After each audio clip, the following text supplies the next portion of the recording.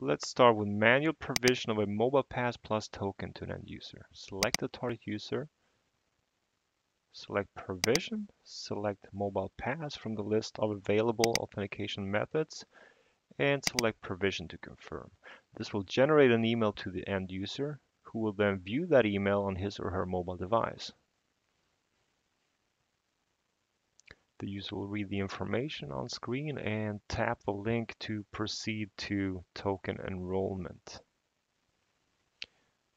This will work whether the app is installed or not. In this case it is, so the user will click the or tap on the link in this email, tap open, select and confirm a PIN code and then select whether or not to substitute that PIN with biometrics.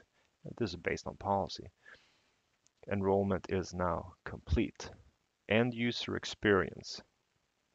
Let's look at that. So the end user will click login.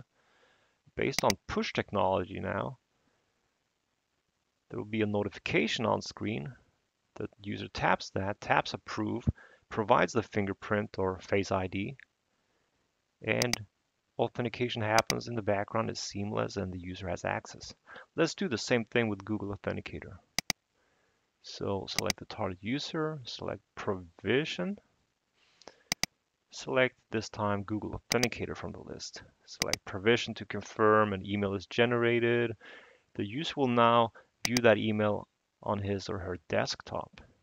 Click the link, bring up his or her cell phone, open the Authenticator app, and scan the QR code displayed on the desktop browser that will generate an OTP. The user will input that OTP to confirm and enrollment is now complete. Let's look at end user experience. Click login.